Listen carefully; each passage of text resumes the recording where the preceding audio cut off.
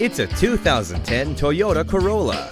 Air conditioning, power mirrors, power steering, stability control, and a tire pressure monitor are just a few of the standard features in the value-packed Toyota Corolla.